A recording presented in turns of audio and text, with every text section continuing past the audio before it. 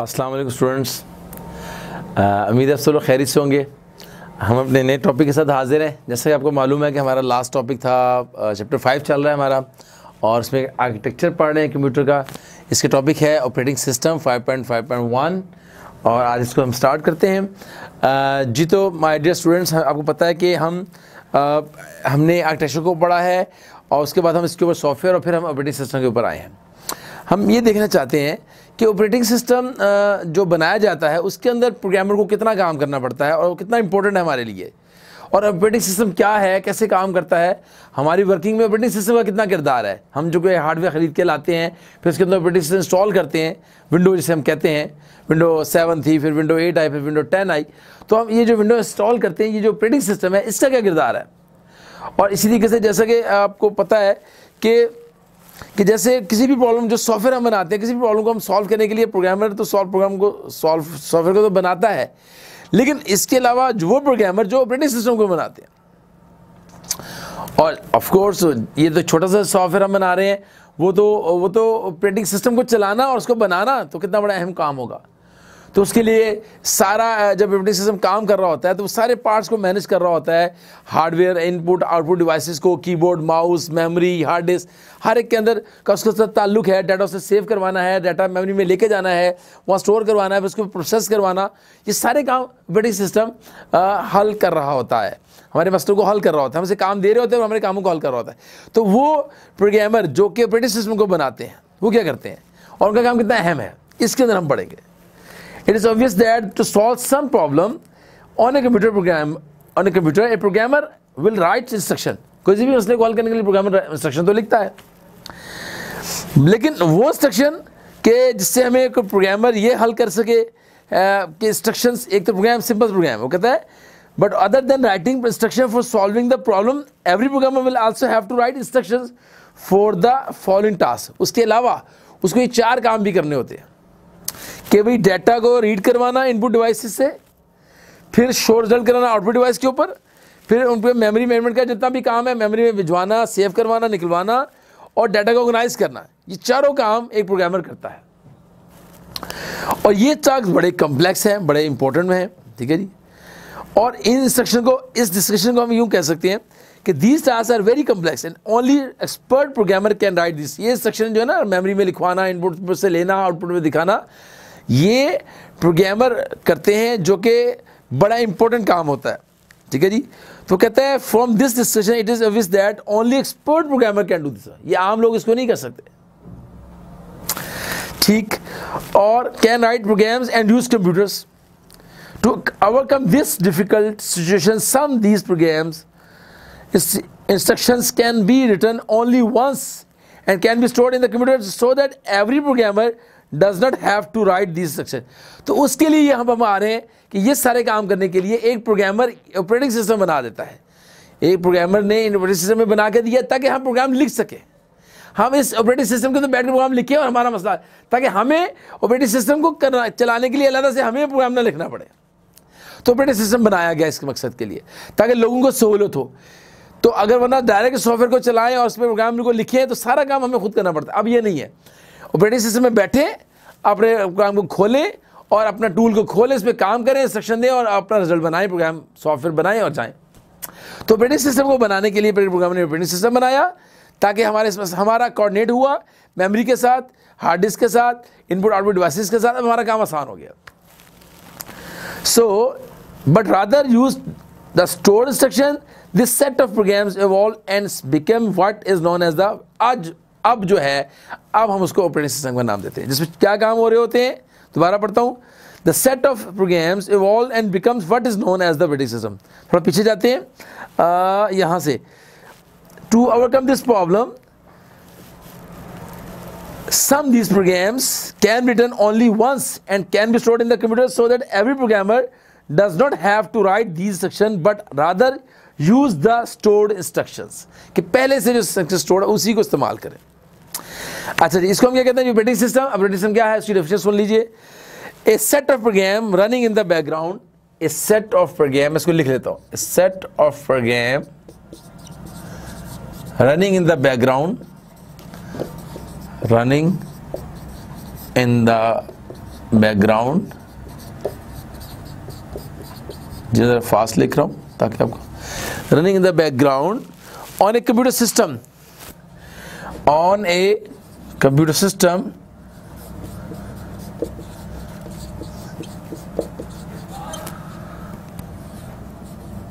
and provide environment और हमें environment provide करता है। And provide a environment provide environment जी, हमें एनवायरमेंट प्रोवाइड करता है किस चीज़ की? In which other programs can be executed क्या हम उसमें दूसरे प्रोग्रामों को चला सके। In which other programs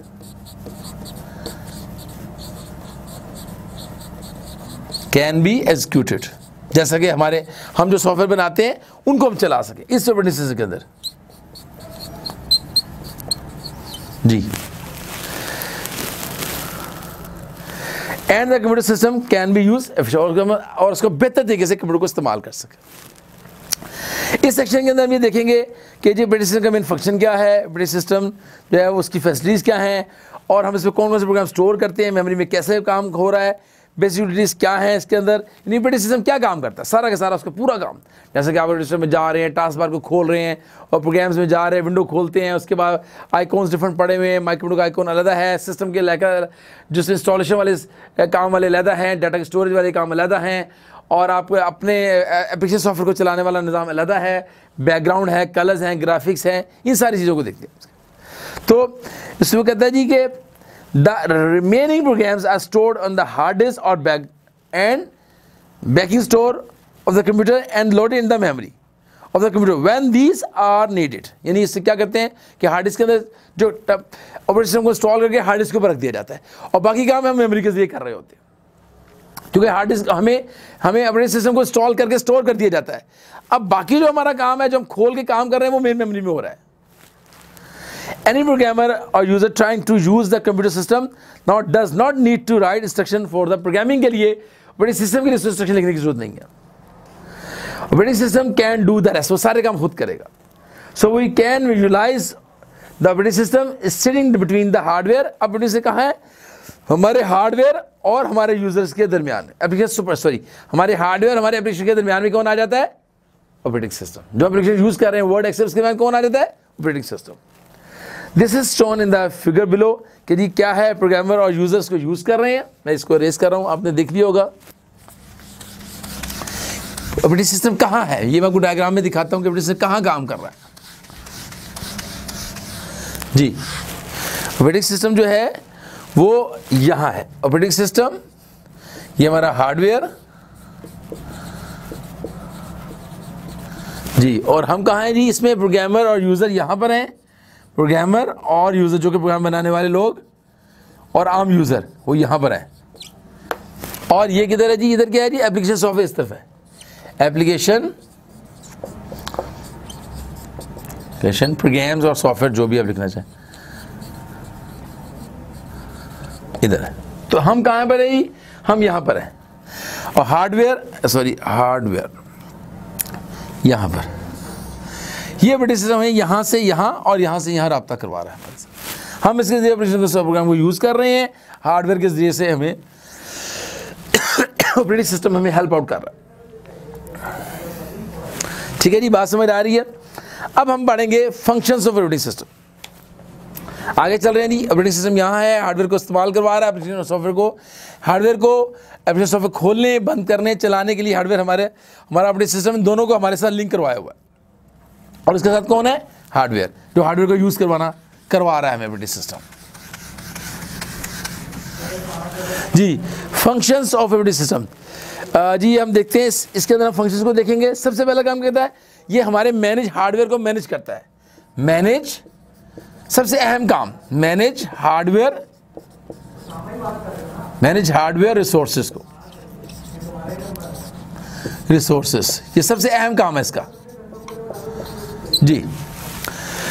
ji the operating system must provide programs for managing the hardware resources ऐसे मिसाल के तौर पर जब सेटिंग में आप जाते हैं तो ये मैनेज करता है कि आपने कीबोर्ड के अंदर कीबोर्ड की सेटिंग माउस की सेटिंग और मीटर की सेटिंग प्रिंटर की सेटिंग सारी चीज़ें हमारे ऑपरेटिंग सिस्टम के अंदर होती हैं। तमाम डिवाइसेस की सेटिंग के अंदर जाकर हम तमाम डिवाइस को सेट कर सकते हैं। Like this memory and the CPU हर चीज़ की सेटिंग जो है वो उसके अंदर कर दी जाती है, उसके साथ कंफिगर ऑपरेटिंग सिस्टम उसके साथ कंफिगर हो जाता है। उसकी सेटिंग को अपने अंदर लेकर हम उसको चेंज करना चाहें, कुछ काम करना चाहें कोई डिवाइस उतार के लगा रहे हैं तो ऑपरेटिंग उसको हैंडल कर रहा है। फ़ौरन बताएगा भैया नया डिवाइस आ गया आपके पास। पर डिवाइस को उतार दिया गया। तो फ़ौरन उसकी सेटिंग भी अपने अंदर ले लेगा। फिर क्या करता है? सेकंड काम क्या करता है? Memory management number one manage hardware resources फिर number two memory management management ji. Memory management ji in the store program computer every program has to be loaded into the आपको जब भी हम काम लोड करते हैं, कोई भी काम तो मेमोरी के अंदर जाता है। क्योंकि उसे चलना होता है एक्सिक्यूट करना है, पहले मेमोरी में जाएगा सेव होगा, फिर प्रोसेसर के पास आएगा, फिर उसको सॉल्व करेगा, और फिर से एक्सिक्यूट करवाया जाएगा। If there are several programs अब बहुत सारे प्रोग्राम अगर हों, एक टाइम एक प्रोग्राम दिया, फिर दूसरा, अब कौन उसको, अब इसको ऑपरेटिंग सिस्टम मैनेज करवाएगा कि पहले एक, फिर दूसरा, फिर तीसरा। अगर सेमल्टेनियसली एक ही वक्त में बहुत से प्रोग्राम लोड कर दिए जाए तो उसको सॉल्व करना, उसको एक्सिक्यूट करवाना, ये ऑपरेटिंग सिस्टम का काम। As is the case when time sharing is use उसमें क्या किया जाएगा? टाइम शेयरिंग यूज़ की जाएगी। कि हर काम को इक्वल टाइम देकर डिवाइड कर दिया जाएगा। हर काम को इक्वल टाइम दिया जाएगा। The program and data must be protected from the action of the other programs, ताकि दोनों का प्रोग्राम आपस में मिक्स ना हो। एक अलग चल रहा है, फिर दूसरा चलेगा हर एक अलग प्रोसेसिंग हो रही लोड एंड एक्सिक्यूट अब जनाब उसको लोड करवाना है। अगला स्टेप क्या आ गया जी? कि आपस में मिक्स करने नहीं दिया, अब उसको लोड करवाना और उसको एक्सिक्यूट करवाना। Load and execute the program ये प्रोग्रामर कोई प्रोग्राम चेक कर रहा है सी लैंग्वेज के अंदर बेसिक लैंग्वेज के अंदर आप काम कर रहे हैं तो उसको लोड भी करवाना और उसको एक्सिक्यूट भी करवाना। जी। As we know that program has to be loaded पहले आप प्रोग्राम को लोड करते हैं मेरे मेमोरी के अंदर। फिर उस प्रोसेसर्स पे काम करता है फिर उसको करवाता है। तो ब्रेन सिस्टम क्या करता है? वो हमें प्रोवाइड करता है facility of easily loading a program into memory and start पहले लोड करवाए, फिर स्टार्ट रन करें और फिर इसके ऊपर स्क्रीन पे दिखा दें। फिर हमें डाटा सिक्योरिटी भी प्रोवाइड करता है। हमें क्या करता है अगला काम? डाटा की सिक्योरिटी देता है। कि डाटा ना तो लॉस होगा, ना कोई इसको डैमेज होगा, ना कहीं और हमारा डाटा जाएगा। डाटा सिक्योरिटी देता है। वैसे must also protect the user data against illegal access अगर आता है, फ़ौरन हमें मैसेज आता है जी, ये कोई बाहर से आपने यूएसबी डाली थी, या नेट से कोई वायरस आ रहा है फ़ौर हमें इन्फॉर्म करता है। या हमें ऑपरेटिंग सिस्टम इन्फॉर्म करता है कि भाई आपके डाटा को रिस्क है, कोई प्रॉब्लम आ रही है तो फ़ौरन सेव करें। आगे चलिए providing interface to the user देखिए हमें एक इंटरफेस दे रहा है। हमें काम करने में सहूलत मिल रही है। हम फ्रेंडली काम कर रहे हैं। हमें पता है ये चीज़ यहाँ पड़ी हुई है। अभी हमने इसको एक्सिक्यूट करवाया अब हम अगला प्रोग्राम चला रहे हैं। अब ये प्रोग्राम हमने सेव करके रख लदा रख दिया है। तो हमारे हमारे काम को कैटेगराइज करता है स्टोर करता है और हमें काम लोड को भी बैलेंस करता है। यानी हमारे काम को स्पीडी भी कर रहा है लोड भी कर, को भी बैलेंस कर रहा है और एग्जीक्यूट भी करवा रहा है। So providing interface to the user but must provide interface between the user and the computer हमारे कंप्यूटर के दरमियान में एक रबते के तौर पर है। आल्सो बिटवीन सॉफ्टवेयर और सॉफ्टवेयर के दरमियान भी हमारे साथ रबते के तौर पर है। Most betting system provide the following two types of the अब हमारे इंटरफेस दो तरह के आपने ये नाइन्थ क्लास में टेंथ क्लास में, वैसे भी आपने इसको यूज़ किया है कंप्यूटर को तो आप इसके, इस इंटरफेस को जानते हैं। मैं आपके सामने लिखूँगा, आपको फ़ौरन पता चलेगा कि हम दो तरह के इंटरफेस से हम कंप्यूटर के साथ काम कर रहे हैं। तो एक तो है कमांड लाइन एक इंटरफेस है कमांड लाइन जो हम, जिस पे बैठकर हम हम कीबोर्ड के ज़रिए से कमांड लिखकर इंस्ट्रक्शंस को प्रोसीड करवाते हैं। और दूसरा है हमारा graphical user G U I graphic user interface कि हम ग्राफिकली विंडो खोल के आइकॉन्स के ऊपर काम करते हैं विंडो के ऊपर अपने मैनेज करते हैं कंप्यूटर्स के सॉफ्टवेयर को, चीज़ों को। ग्राफिकली मैनेज करना G U I graphical user interface कहलाता है। पहला कमांड लाइन इसमें क्या है, आपका जैसे इस तरह का कमांड लाइन इस तरह का होता है सी स्लैश आइकॉन ये इस तरह लिखा होता है। तो आप यहाँ पर सी डी डैट डैश आप लिखते हैं तो वापस आ जाता है। इससे से सी आपको डायरेक्टिव बनाना चाहते हैं, ये आपने नाइन टेंथ में सब पढ़ा है। ये इस तरह का कमांड प्रॉन्ट होता है। जैसे ब्लैक सी स्क्रीन होती है, ठीक है? यहाँ पर हमारी डायरेक्टरीज आ रही होती हैं। डिफरेंट किस्म की सारी फाइलें शो हो रही होती हैं यहाँ पर, और हम यहाँ पर काम कर रहे होते हैं। जी तो इसके अंदर क्या है जी? कंप्यूटर सिस्टम के अंदर by type command using a keyboard Each command given to the operating system activates one of the many programs in the operating system. Example of such is the interface command prompt, S DOS इसको हम क्या बोलते हैं? Command prompt की जो basic हमारा जो सबसे फ़ेमस है वो हमारा डॉस है। एम एस डॉस एक प्रोग्राम है जिसके अंदर डिफरेंट कमांड्स होती हैं। उस कमांड को हम चलाते हैं और उससे यानी हम कंप्यूटर की डिटेल लेनी डेक्टी बनानी डेक्टी से बाहर आना फोल्डर खोलने फोल्डर बनाने ये सारे काम इस एम एस डॉस के अंदर किए जाते हैं। डेक्टी को डिलीट करना फ़ाइल को डिलीट करना और कॉपी करना पेस्ट करना, सारे काम इस डॉस के अंदर। जैसे नाइन्थ के अंदर हमने उसको पढ़ा भी है। जी, आगे चलते हैं। आगे हमारा ग्राफिकल यूज़र जो आजकल है, जो हम विंडो को खोलना उस पर ग्राफिकली उस पर काम करना, उस पर स्टार्ट अकाउंट पे क्लिक करना close start open shut down और बैकग्राउंड को चेंज करना आइकॉन्स को देखना, और हमारे माइक्रोमीटर में जाके अपनी हार्ड डिस्क को रैम को, हर चीज़ को देखना सेटिंग को देखना, ये सारा का सारा ग्राफिकल यूज़र इंटरफेस है।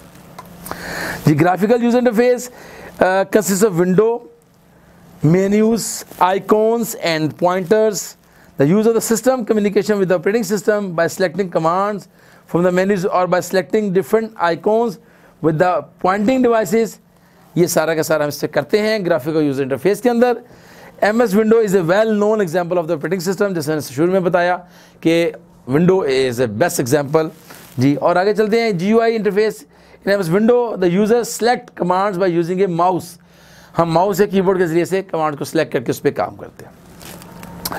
ये था जी हमारा ऑपरेटिंग सिस्टम होपफुली आपको अंडरस्टैंड किया होगा, समझ आया होगा और आसान भी है, बस को आपने समझना है। आप साथ साथ टॉपिक को दोहराते रहिए और अगर समझना है तो वीडियोज़ को रिवाइज करके दोहरा लिए कीजिए और इसके क्वेश्चंस को लर्न करें। और इस चैप्टर का काफ़ी इंपॉर्टेंट मैं पहले भी बता चुका हूँ। ये चैप्टर बहुत इंपॉर्टेंट है। आपको उस पर प्रिपेयर करना है अपने एग्ज़ाम के लिहाज से।